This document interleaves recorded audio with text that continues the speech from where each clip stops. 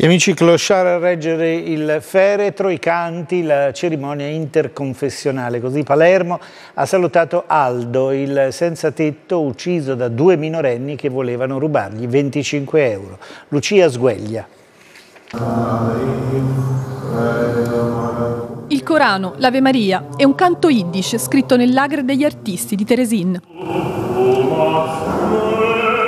funerale laico, insieme interconfessionale, l'ultimo addio di Palermo ad Aldo, il senza tetto musicista ucciso domenica sera mentre dormiva in strada per 25 euro da un sedicenne, organizzato grazie alle donazioni di amici, conoscenti, commercianti, accanto al sindaco tanti cittadini comuni, migranti, volontari che lavorano in strada e clochard. Ci siamo sentiti di, di appoggiare questo gruppo di semplici cittadini che senza uno schieramento politico, religioso, voleva semplicemente ricordare la morte di una, di una persona, la morte di un, di un membro della nostra comunità. Una morte così orribile sia per la morte del, del clochard ma anche una pietà, una tristezza per l'assassino. Speriamo appunto che questa cosa, questa attenzione che c'è su di Aldo morto si possa riversare su, sui mille Aldi che vivono per strada. Che... Tre persone sono morte quest'anno senza fissa dimora ed è un allarme di cui che deve impegnare tutti.